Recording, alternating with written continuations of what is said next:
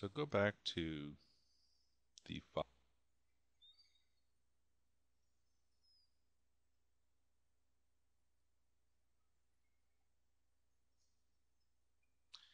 And what we'll do now is we're going to merge our column into the courtyard. So we go to the File menu, select Merge. We'll need to find where we've placed the Doric column, again in the Startup Files. Click Open.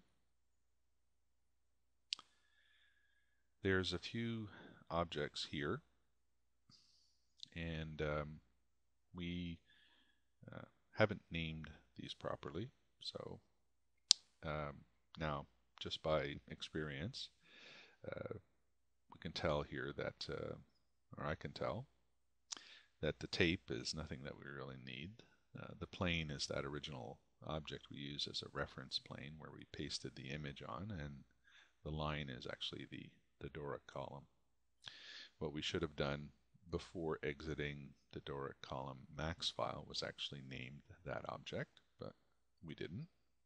So we can go back and do that again later.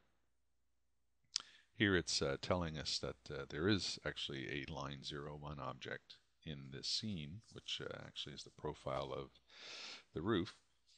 So let's go ahead here and uh, take the opportunity to give this now proper name and click on merge.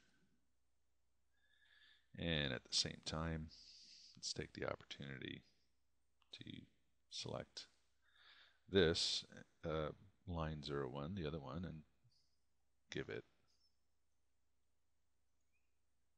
a name as well. So you can see our column here. It's come into the scene. It should come into the scene at exactly the location it was created. And you can see here it is in the center of the, um, the courtyard and it is right on the ground. Uh, we'll need to move it, obviously. It doesn't need to go there. Let's uh, go ahead and unhide all our objects though. We'll just take a minute here and go through our scene and see if all the objects are named so that we can tell what their usage is for. And everything seems to be pretty good here. Okay. Let's um, use the top viewport to move this column into a location here in the lower left hand corner.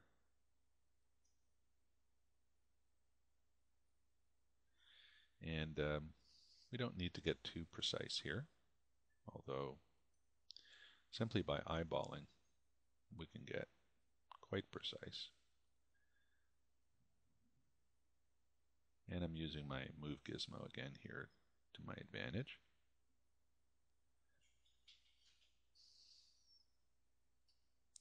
Now, since we've used uh, booleans in the past, this might be an opportunity to use booleans again, where see that our column is going into our wall. Basically, this part here is the part of the column that uh, is uh, is seen in the courtyard, and then you wouldn't see the rest, which is uh, beyond the wall here. Although this is a possibility, there's no real good reason why we need to do that uh, what we'll do is we'll actually take um, a tool right here in the lathe uh, tool where we can specify the number of degrees that uh, the object is being lathed. Um, one thing as well is uh, instead of using 30 segments, I think 36 segments is better. And the reason why that, that is, is that we will actually get a line and a vertex both on uh, on each of the uh, 0 and 90 degree angles here.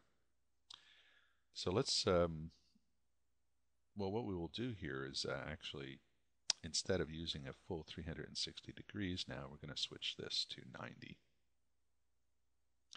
And you could see that when you do that, it uh, uses that front view counterclockwise, and it just so happens that it's worked out really nicely here, that it, uh, has aligned uh, perfectly uh, with my two walls.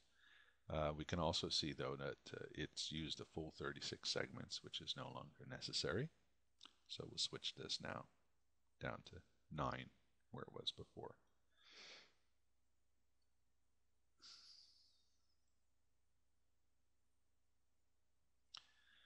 So let's go ahead and uh, zoom out and we'll make some uh, some duplicates of this object and we can do this uh, in a number of different ways. Um, let's try starting with uh, with array. We'll go to the uh, tools menu, find array, and let's just start by just making three copies. And um, we'd like to copy this along the x-axis. The distance between copies is 360 or 12 feet. And let's go ahead and preview that. And that's what it gives us for now. That's good. Click on OK.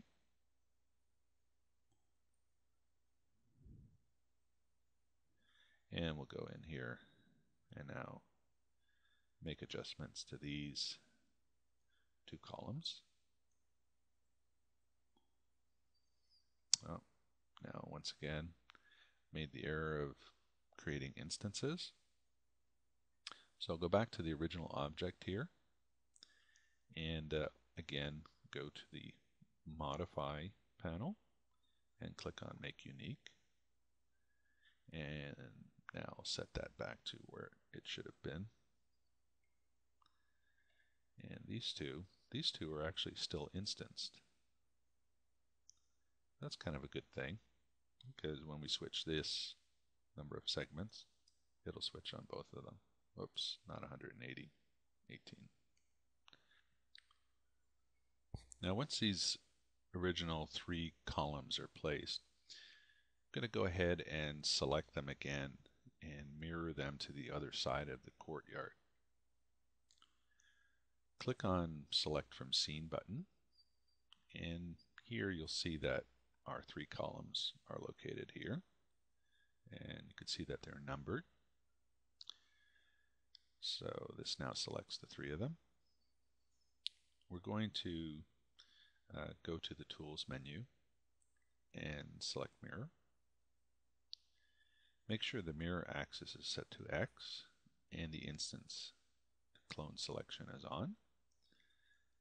In this case here, our offset distance is 1070, which I believe is equal to 35 feet 8 inches.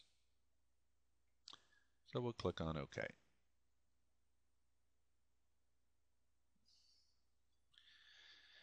Now you can clone one of these. Let's uh, choose this one,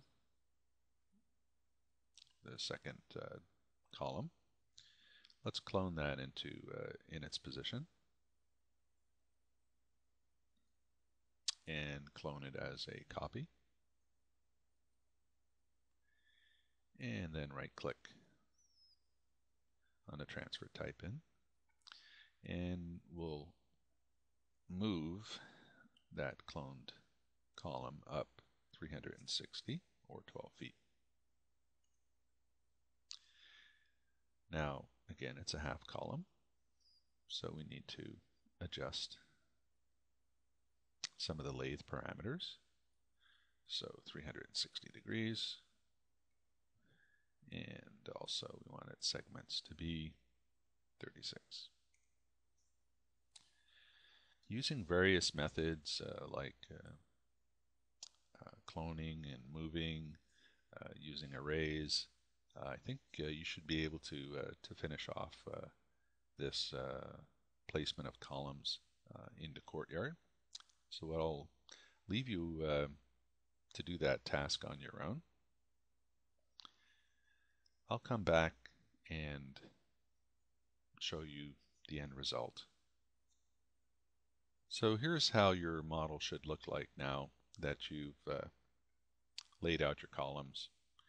You should see them uh, in each location and uh, uh either a quarter or half or a full column here.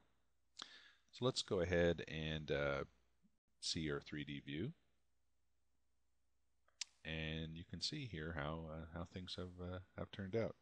Everything looks pretty good, and our columns are properly placed uh, on a, on the ground and go up to the eight foot high or uh, 240 uh, centimeter level. And um, our, our, columns are, are cleanly defined. Uh, you don't see any facets and uh, nasty edges. Um, so this is basically our model of the interior of our courtyard. Um, we'll come back to this, uh, I hope, later on in the class uh, to do some other things. Um, and one thing to note also about it is um, it's uh, it's an interior shot. Um, I haven't done any anything on the walls here. Uh, I haven't created a model of this entire building.